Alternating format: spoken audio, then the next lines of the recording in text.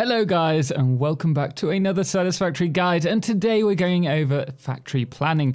Specifically factory planning for a mega factory but it doesn't matter if you're not doing a mega factory because these like tips are still going to be beneficial to you. So unless it's your first save, you're most likely going to start out with a goal, whether that's 100 turbo motors per minute or just to build like a super clean factory like I do. But no doubt later down the line, your factory turns into like a spaghetti mess. Well, this guide will hopefully help you plan out your factory in advance so you never get to that point. And that's exactly what we're hoping to do with our Mega Factory Let's Play series that we've currently got going on. Now, if this is your first time playing the game, though, I really do recommend you just playing it without worrying about the mess that you'll undoubtedly get into. It's part of the fun of the game and a great way to discover how you want to play the game. But for everyone else, first off, we'll be talking about how to plan your factory, and then the best approach, covering the starter factory, logistics, efficiency, and various other things, such as future proofing, as best as possible. So, first things first, you want to state your objective. This is really important. You can even go all out and write this up in a plan on Word, which is what I've done. Uh, for me, I want to use all the resources in the world, and I also want the factory to be as clean as possible. Those are my two main goals. There are other things that I'm going to look into as well, but that's what I'm focusing on. Um, for yourselves, maybe it's something along the lines of creating X number of items per minute, or to have a separate building for each item. It really depends on your playstyle, but it's really good to have this um, stated and put down somewhere that you can refer to later on so that you don't lose track of it. Once you have your goal, the next thing to consider is how you can plan for it. So, item based goals are great because you can jump over to a website like Satisfactory Tools or Satisfactory Calculator and get the exact required resources for the end goal. I'd write these all down in an Excel sheet to help you keep track. You won't need this straight away, so make sure that it's in a save file and easily accessible later down the line. As for using all the resources, it's best to work out how much of each resource you will have. Consider maxing out all resource nodes and all, also whether you're going to be using pure recipes. Again, I'd write this down in a spreadsheet, although it isn't necessary. But you do need to be aware that, for example, you'll be harvesting all the resources for the late game. The main problem for all of these late game plans, though, will be your logistics. But before we tackle that, it's important to look over the starting factory. There's no set time in game to start the Mega Factory. You could start one straight away, but I advise against this as you'll quickly need to scale up and renovate sections. It's much more beneficial, in my mind, to create a starter factory that is able to produce en masse all the items that you'll require for running your Mega Factory or for at least building it.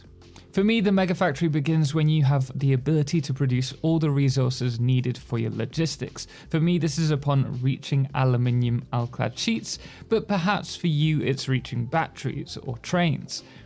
Just know that the earlier you start, the more work you'll need to do renovating the whole system.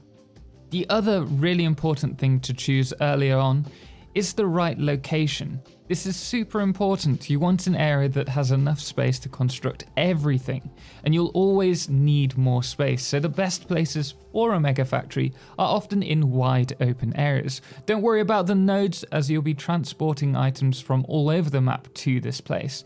Some great locations for mega factories are over the water on the west, north, and east coast, or also over the void in the south, or over the void under the map, should you wish. If you don't want to go over the water or over the void, then other great places are the rocky desert, the plains, or the dune desert.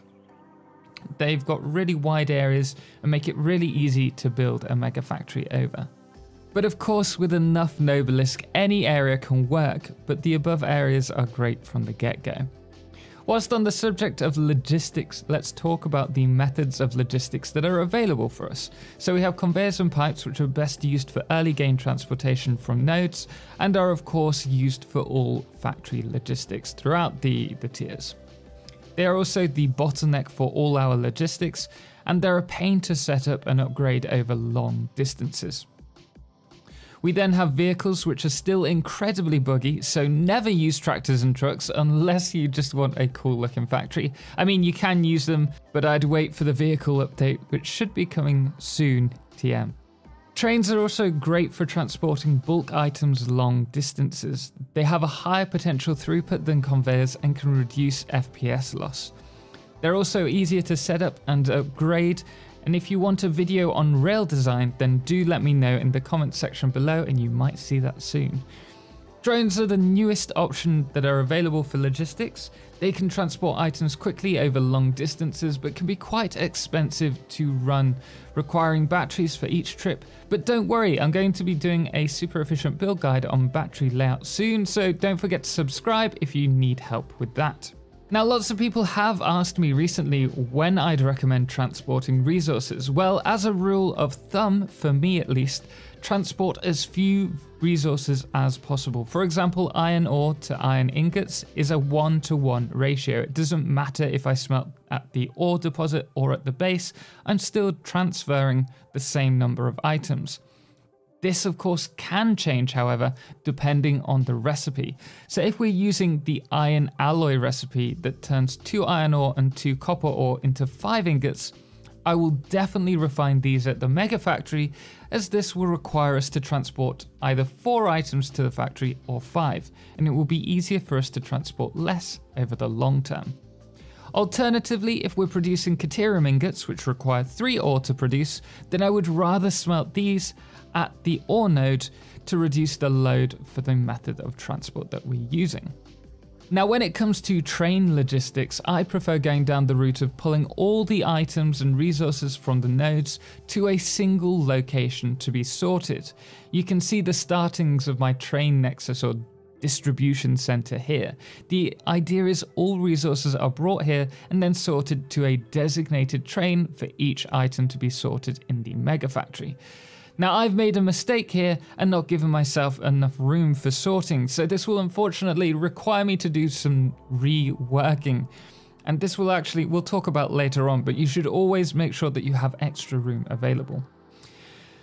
Now, the reason that I do this is to save me from sorting all the resources at the Mega Factory, which could easily turn my whole logistics there into a bowl of spaghetti. Now we've got resources at the factory, the big question is how to start without getting overwhelmed. This is where you return to that Excel sheet to produce those items, but before we get started, you need to know what system you want to use in your factory. A lot of people use a tiered system, producing the first level of items and taking them up to the next level to produce into the second tier of items, and so on. This is a great way to do this, but you have to be really careful about transportation of resources across the levels, which might get really complicated really quickly.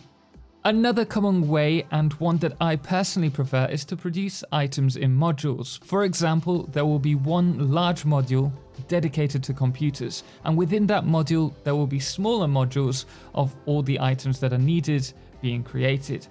In this case, all you need to do is make sure that you have all the re raw resources and materials that you need at this factory in order for it to run.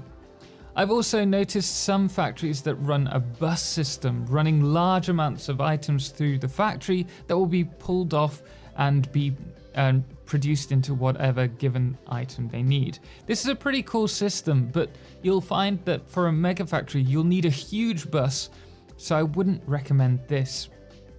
Now, these are three options that are certainly available to you, but they're by no means all of them. So if you do have any suggestions yourself, let us know in the comment section below. When it comes to these production lines in your factory, another thing to consider is whether you want to run everything efficiently. For myself, I try to make sure that everything runs at a 100% resource consumption ratio, but perhaps this isn't for you. There's no reason why you can't fully saturate each line and take items from them. But for me, I like to make sure I know exactly what goes in and what comes out. You can also think about load balancing and manifold design, but for mega factories, I would recommend going down the manifold route as you're going to be running a lot of lines. And once you've got an idea as to how you will run your factory, you will need to plan the logistics, such as any roads, rails, or conveyor buses that you will want to use for transporting resources. Make sure you set aside plenty of space for these going in between the areas. You'll also find that the factories always get bigger than you planned. So always give yourself extra room than you think you'll need. The same goes for me with the train nexus. Give yourself plenty of room in each area. Now, a mega factory is a huge undertaking, and I hear so many people give it up after they've done one large refinery, saying they need to do 20 times the amount they've just done. Break the factory into smaller bite sized chunks, and this will help you see the progress that you're making without stressing you out. The next thing that I want to touch on is future proofing, and there are a few things that we already can presume are going to be coming to the game based on info and leaks that we've had. There's a planned priority switch, which suggests, though it isn't confirmed, that logic gates may be coming. And obviously, if you want to use these, then you need to make sure that you set the factory into circuits, even if you leave the switches on the whole time it's always good to have. And for more information on circuits in Satisfactory, I'll put a link above. We also know that trains will have some kind of collision in game, so that suggests that we will have signaling. To make this easier on us, it's best to set up a one-way rail circuit. This will save us from headaches later on. And whilst on the subject of saving ourselves headaches, the other thing that I want to touch on is running your factory at 100%. Use awesome sinks at the end of any overflow lines so that the factory is running at 100% all the time. This will ensure that you're running within your power plant limits whilst gaining a comfortable amount of coupons for free. And while you're at it, build a backup of power storage so that you've got a safety net. That way, there'll be no nasty surprises.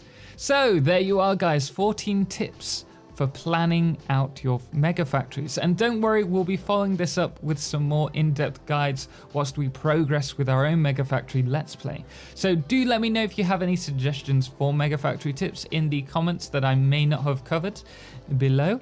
And who knows, we might mention it in the next guide. But we are going to leave it there. If you did find this helpful, then please do drop a thumbs up. And obviously, if you want to see more, don't forget to subscribe. And until next time, thank you so much for watching. And thank you to our amazing supporters, most notably our Solar Eclipse patrons, The Calamity and Cerebral Tag, as well as our Lunar Eclipse patrons, Chris McCabe, Lord of July, and James Irwin, as well as our Blood Moon of the Day, which today is Shlom. Anyway, guys, until next time, as always, Ciao for now.